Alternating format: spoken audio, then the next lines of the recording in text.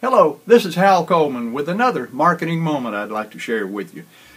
My dear friend and mentor, the late Larry Latimer, used to say, the best salesman you ever met, you never saw. Now what Larry meant by that was this.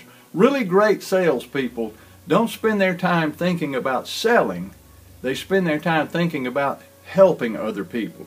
We do business with people we know, like, and trust. And the best way to get someone to like you and trust you is to find some way to help them. Whether it's giving them service, giving them information, going above and beyond what they have paid you for, you're only limited by your creativity. But find a way to help people, and they will find a way to make a purchase from you.